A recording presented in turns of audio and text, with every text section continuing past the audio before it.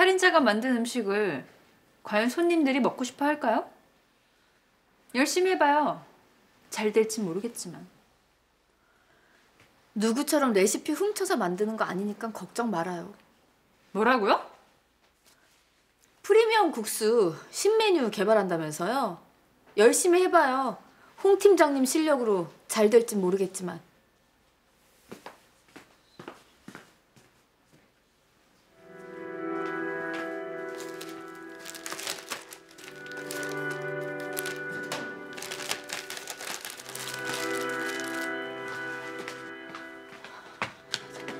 어떻게 됐어? 성공했어. 그럼 빨리 가서 검사 맡겨. 혹시 모르니까 달님이 이름으로 검사하지 마.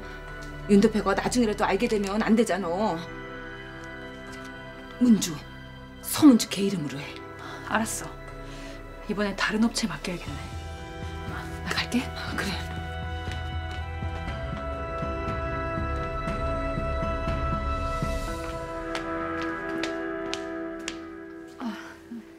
때문에 온 거예요? 어. 들어가 봐요. 나름 열심히 하고 있더라고요.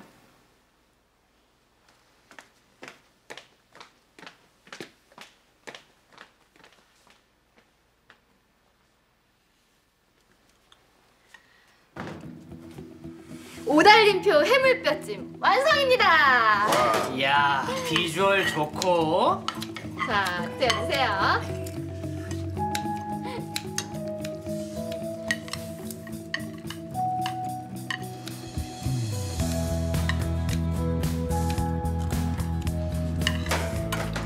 어때요?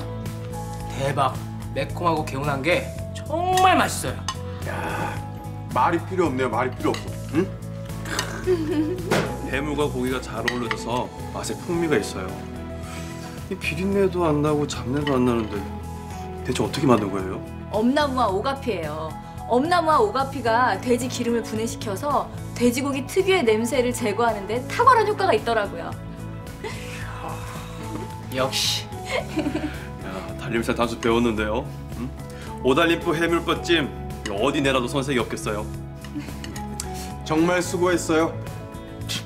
아이고 미정 씨 그만 좀 드세요 말리지 마세요. 너무 맛있어서 정말 손이 가는 것 같아. 달님이 저게 윤 대표 딸이면 안 되는데.